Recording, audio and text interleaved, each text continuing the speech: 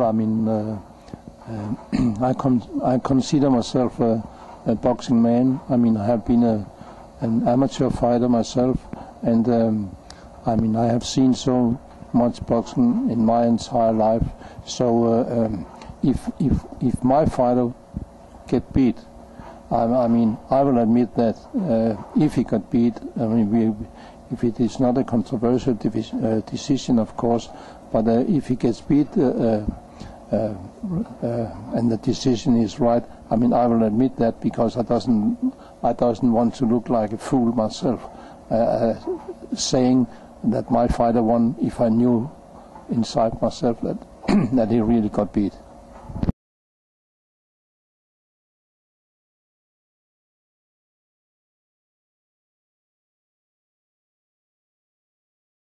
Your fighter, Mikkel Kessler. What's what's the future hold for him?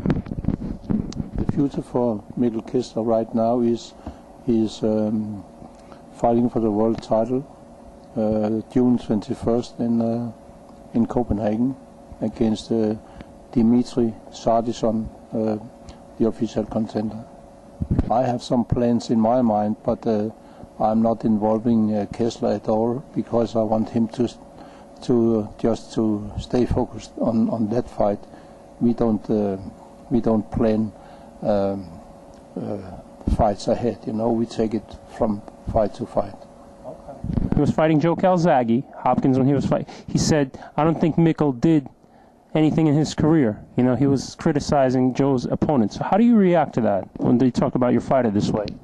Well, just silly nonsense uh, from Hopkins. So, uh, oh, I mean, I I'm sure that uh, he don't follow what is going on in Europe at all.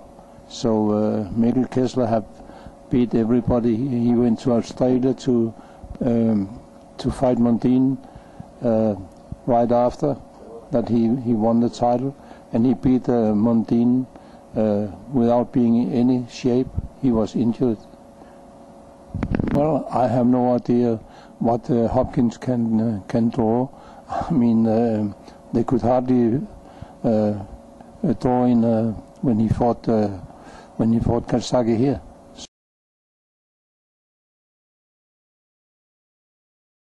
So uh, I don't I don't know what, what he have in um, what why he's uh, uh, saying all that bullshit. No.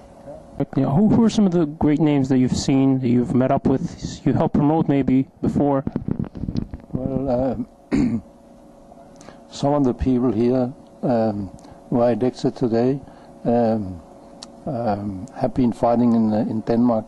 I mean, it, it's a tiny little country, and um, I'm very proud to have uh, uh, names like like uh, uh, Mike Tyson, Larry Holmes, Eddie Perkins, Emil Griffith, and all that. Uh, I mean, just to name a few um, through the 50 years of uh, or 52 years of uh, promoting now, I mean, I have had uh, many of the greatest fighters uh, fighting in Denmark.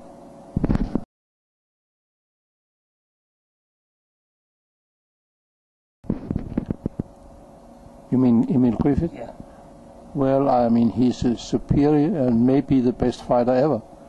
So, uh, well, I don't know why I made him that, but he he was a natural uh, um, uh, talent. I mean, tremendous uh, fighter. So, he was a perfect fighter. I mean, he could, he he uh, he had the style, the skills, and everything. He was a very uh, a fantastic athlete, you know. So, uh, and he had the, he just had everything. Sonny Liston?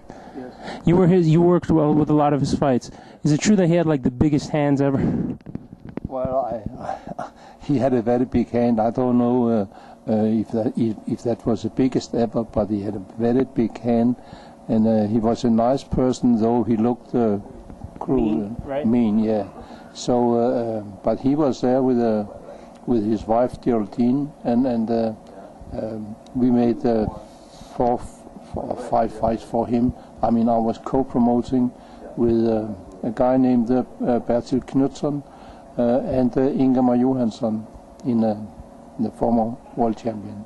Boxing is banned in Sweden. I don't know if they're, they're trying to reinstate it. I don't know what the current status is, but what's the reasoning behind it? Is it politically motivated that they're trying to ban it? Or Well, I don't know. Uh, um, you know, politicians. Uh, uh, I mean, sometimes they're try, trying to make themselves a name and find some uh, uh, reason to to to become famous themselves. So, boxing is is a is a very easy to get publicity um, about. So. Um, they involve themselves in boxing, trying to ban, and they got it banned in '69. So, uh, but it's um, i i I don't know if it will ever come back in uh, because right now they are. It is reinstated in a way, but only with uh, they are not. They're only allowed to um, to make six round fights. six round. I read actually yesterday, Brian Nielsen supposedly making a comeback. He has said that apparently in some uh, Danish website. Uh, wh- what do you think about that? That is rubbish. He will never come back. I will. I will. He will never fight for me again. At least, you know, his time is he's past. So so uh, he's retired for good. You know, he, he will only hurt himself uh, trying to come back. You, you promoted his fight with Tyson. Can you talk a little about that? Um, Brian Nielsen, um, he was really written off by some papers in, in, in Denmark, uh, but uh, um, it was totally wrong. And um, ten months later, he came back, uh, came uh, came back, and fought Tyson.